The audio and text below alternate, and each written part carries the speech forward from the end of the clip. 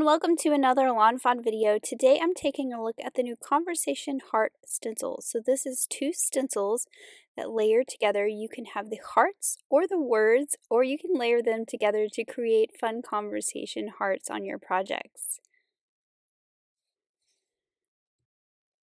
So for my card today, I'm going to be doing some inking on some kraft cardstock using some oxide inks.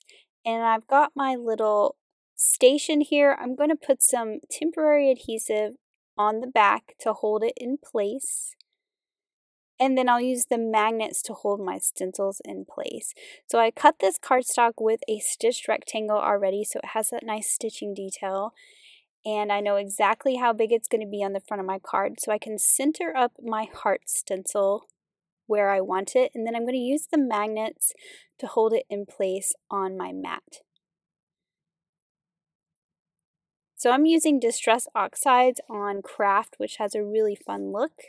And I'm going to use a color scheme that's pinks and greens. So it's a little non-traditional, but I just kind of came across this while these were sitting on my desk and I thought this might look pretty cool. So that is what I'm starting with. And I'm going in with Lucky Clover at the bottom. And then I'm going to go in with some Twisted Citron on the row right above it. So I'm making sure to stay on the row of hearts. And then I'm going to pull those colors together a little bit. So I'm going to bring that Lucky Clover up to the bottom of those Twisted Citron hearts and kind of blend them together. And they're going to blend just on this row. Then I'm going to switch over to the pink. So I'm going to wipe off a little bit of that green so I don't grab it with my pink accidentally and pull it in. And I'm going in with the darker of my two pinks. This is Worn Lipstick. You can see I'm going up on that next row a little bit so that the bottom of the next row of hearts will have two colors.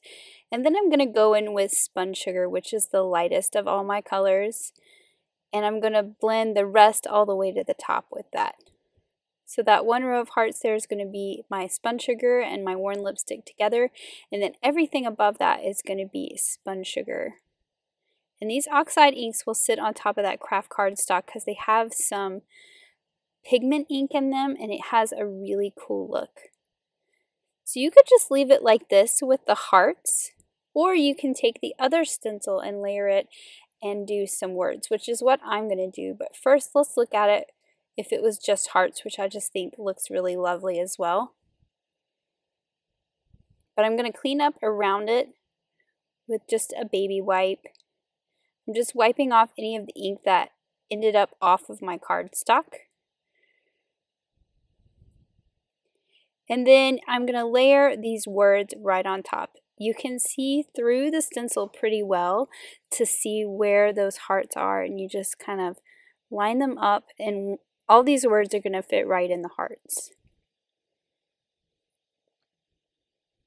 So once I've got that where it needs to be, I can just put my magnets right back on here and hold it in place. Now I'm going to do two things through this stencil. I'm going to do some white pigment ink and I'm also going to do some glitter paste. And I'll tell you right now that I turned my camera off and forgot the glitter paste part. but I'm doing my white ink first, and actually what I'm doing is I'm taking a foam applicator and I'm just dabbing it. I'm not moving it in a circular motion, I'm just pouncing it into these openings. I have found this is a good way to add this white pigment ink, at least for me. So I pounce it in there, and it's not very smooth when you do it like this, but it gets the ink in that opening. And then you can go back with the blending brush and kind of smooth it out and get that nice white, smooth look.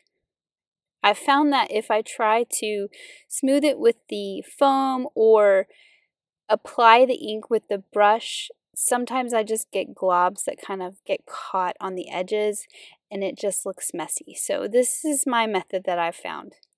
Now, like I said, I forgot to film my part with the glitter paste, but I would have, I, well, I actually did take this off and clean it and then line it back up to do the glitter. So this is pretty accurate, but you could also just put the glitter right straight through there. You don't have to clean off the stencil first.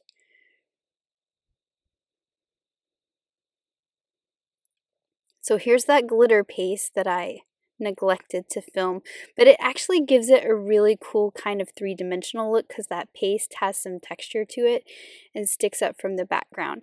Now that it's all dry, I've put some foam tape on the back of my panel and I'm just going to put this on a peacock cardstock card base. So I'm going to get that nice dark teal border all the way around it, which I think goes really well with the Lucky Clover. Once it dried on the kraft, it's kind of more teal than green. And then for my sentiment, I'm just using die cut. So I have a Scripty Hugs, and I also use Finley's ABCs, the B, I, and the G to die cut the word big. And I've cut the Scripty Hugs from regular white cardstock three times and then once from white glitter cardstock. And I'm going to stack these together so you get that really thick kind of chipboard looking sentiment. So I'm just going to add liquid glue to each of the layers and just stack them all together, making sure that my glitter one is on top so you get that nice glitter look on the very top.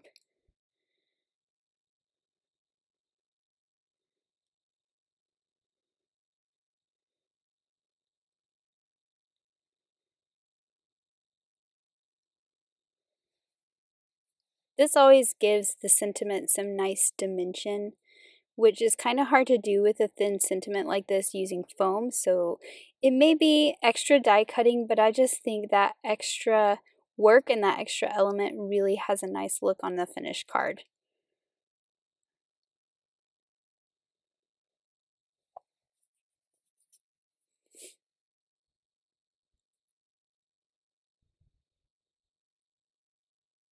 And then of course I'm going to do the same with my die cut individual letters that you see there, the B, I, and the G.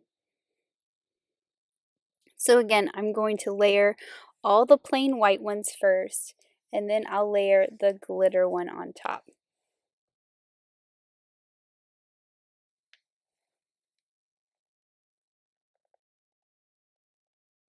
And I'm just making sure that I clean up the glue that might squish out the sides. That's why I use that craft pick there to kind of scrape it away.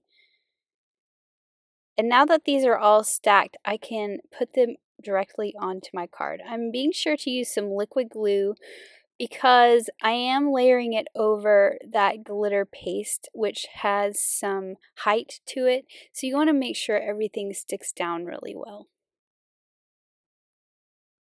And my other letters above it are not glued down yet. They're just laying there for placement.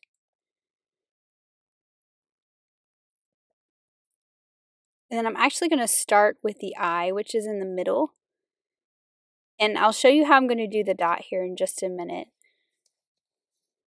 But I'm starting in the center and working my way out so that everything's nice and centered.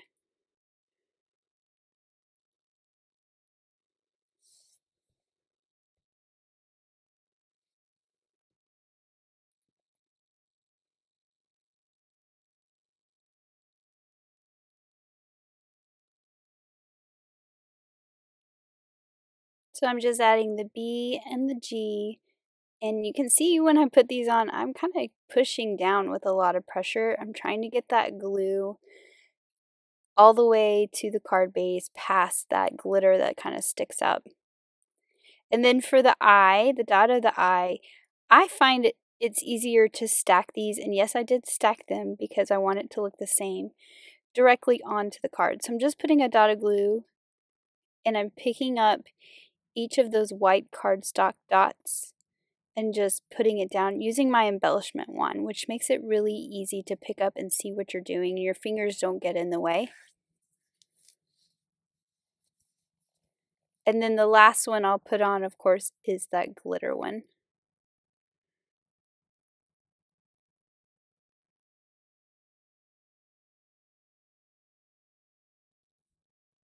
And then finally to finish it off with a little bit of embellishment, I'm just adding some clear iridescent sequins that I scattered around. And here is that finished card and I just love the way it turned out. Now let's take a look at some examples from the design team. I love Audrey's card and how she used just the heart stencil to add some pattern to that die cut background behind that sweet pink owl. I just think it is so adorable. I love Elise's super colorful rainbow conversation hearts on her background, and I just love that bold black sentiment at the bottom as well. Elena created a super sweet card with the cute little bear from Dead Sweet Den, and I love that pink with red that she did for her background. She also used the heart from the center picture window heart add-on to create that window. Letitia used the stencil to decorate her gift card heart envelope, and I just think it is so adorable. And Megan created a super sweet card using the gift card heart envelope on a card base, and I love that cute little hedgehog peeping over top. Thanks so much for watching. Have an amazing day. Bye.